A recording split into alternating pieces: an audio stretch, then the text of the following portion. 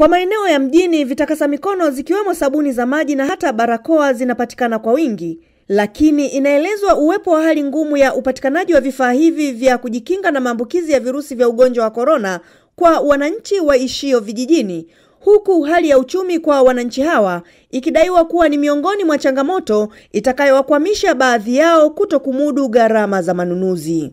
Changamoto ni upatikanaji wa barakoa zenyewe, yani zifike kule. Na e, ikiwa ita, itakuwa vizuri sana zikiwa na bei ambayo inaweza ikawa e, inakubalika na wenzetu wa kule vijijini, lakini bahati mbaya kule hazijafika za kutosha, na kwa sababu lazima zifuate mjini, inakuwa mtu mmoja mmoja, wawili wawili ndio wanavaa kule, lakini kwa sababu ishu ya kunawa tulishaieleza, lakini barakoa tunaomba zisogezwe kule ili tuweze kuzinunua na tuweze kuzivaa. Mapesa Makala ni miongoni mwa wakazi wa kijiji cha Ibumila wilayani Iringa na ni mwenyekiti wa umoja wa vijana UVCCM Iringa vijijini. Anaona upatikanaji wa vifaa vya kupambana na virusi vya korona ni changamoto kwa baadhi ya wananchi vijijini. Na Changamoto hizi zimejikita sana kwenye upatikanaji wa barakoa, lakini pia vifaa vya maji tiririka. Kwenye wilaya yetu ya Iringa vijijini, watu wamehamasika kupata elimu hii kwa namna ya kupata vitu vya, ku, vya kunawa, lakini uadimu wake ndio unachangiza watu kufanya tu mambo kawaida. Aidha, Makala anaiangukia jamii ione umuhimu wa kuwasaidia wasio na uwezo wa kupata barakoa na hata vitakasa mikono.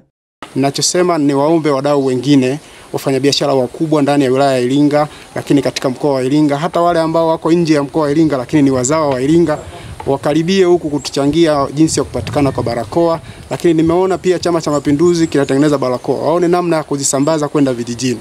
Ukitizama Iringa mjini, wamekuwa wakipata wafadhili wengi wa kupata hizi barakoa, vitu vya maji tiririka, lakini kwenye wilaya yetu ya Iringa vijijini imekuwa ni changamoto.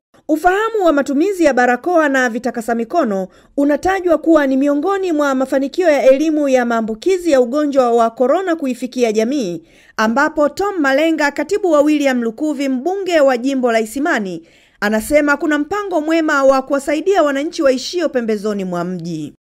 Tunashukuru kwanza kwa mapambano mazuri. Ukiona watu wanahitaji kitu, ujue wameelewa, elimu imewafikia. Kwa hiyo tunashukuru kwamba kwa elimu imewafikia. Sasa Mheshimiwa mbunge, nafikiri William Mbangimembe Lukuvi anajiandaa sasa kuweza kutafuta hizo barakoa kwa ajili ya kuwagawia baadhi ya wananchi. Hatuwezi tukagawa kwa jimbo lote, hapana, tutagawa kwa wale wanaotoa huduma. Kwa upande wa wananchi wa jimbo la Isimani, uhitaji wa barakoa unatajwa kuwa ni mkubwa. Ndoo bado hazitoshi na sanitizer.